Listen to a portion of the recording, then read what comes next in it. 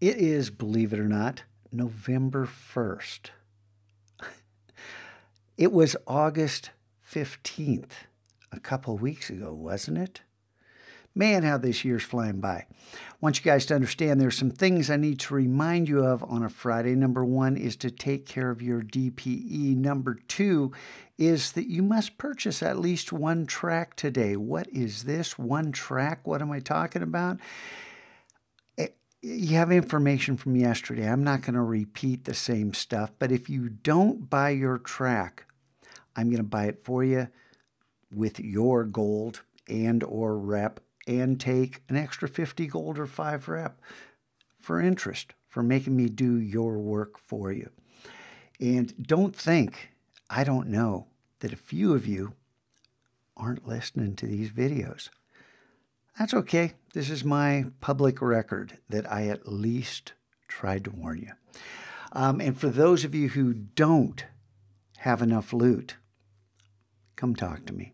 We have to work out something because there's no excuse for not having enough loot in week 12, but we'll work something out. You got it? Okay, so a few of you are trying to work with isometrics or trying to work with cubes.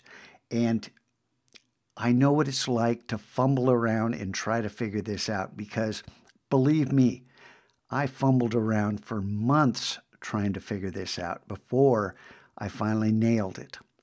I'll be sharing this with you. This is not uh, an app. This is not a generative app. This is actually um, some actions and strategies that I worked out in Illustrator in order to make geometric scenes. I'm happy to share this with you.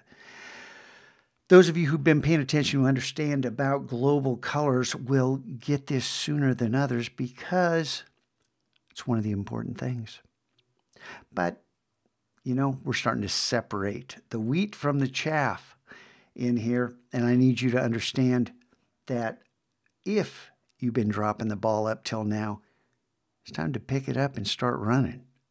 Let's get to work and let's work together to make the world a better place, to make the Mac Lab a better place. And this weekend, get out there and do something to make the real world a better place because it's important. You got it? All right. Have a great Friday. This to be fun.